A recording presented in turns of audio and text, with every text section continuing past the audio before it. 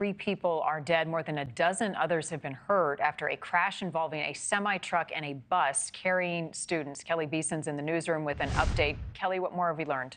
Yeah, well, we know now, Marni, that that charter bus was carrying students believed to be from a high school in eastern Ohio when that bus was rear ended by a semi truck this morning. So at last check, three people are dead, 15 injured.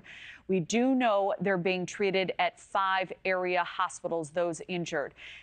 57 people were on board that charter bus, Marni, and this crash happened in Licking County, which is about 25 miles east of downtown Columbus. No word on the cause of the crash or the status of those injured, but we do know a swarm of emergency responders descended on that scene.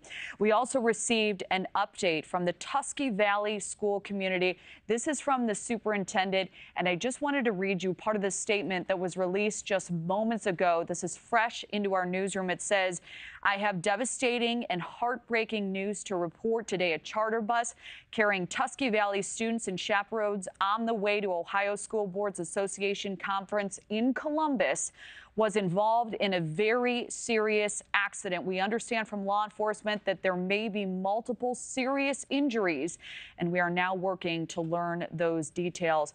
We also know, Marni, traffic is closed in both directions of I 70. Numerous delays are now being reported for drivers in that area as well. Marni. Thank you for watching. Go to newsnationnow.com to find News Nation on your television provider. And don't forget to click the red subscribe button below to get more of News Nation's fact driven, unbiased coverage.